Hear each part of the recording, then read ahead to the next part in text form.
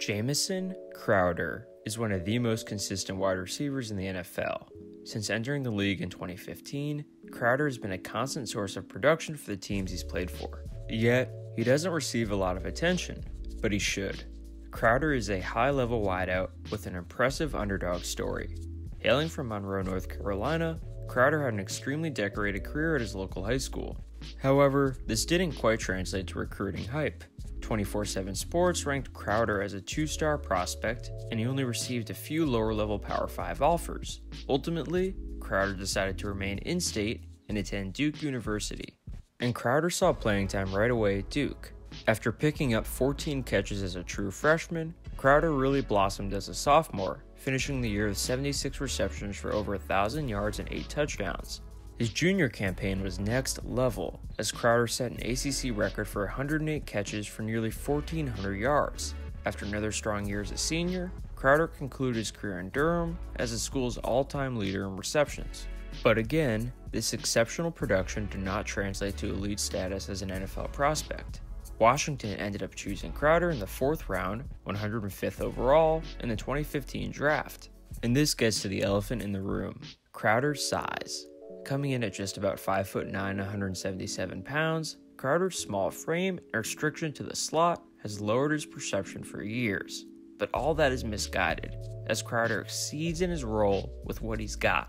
As a rookie, Crowder broke Washington's record for the most receptions by a rookie, as he concluded his debut campaign with 59 receptions for 604 yards and 2 touchdowns. Crowder took his play up a notch in his second year, finishing the season with 67 receptions for 847 yards and 7 touchdowns. He matched a similar level of production for his next season. Unfortunately, an injury cut his 2018 season short, and the squad in DC opted to let him walk in free agency. Ultimately, in March of 2019, Crowder ended up signing a three year, $28.5 million contract with the New York Jets. While many questioned his decision to sign with the Jets, with many also questioning New York's choice in offering a sizable contract to a slot receiver, the move has seemed to work out tremendously for both parties.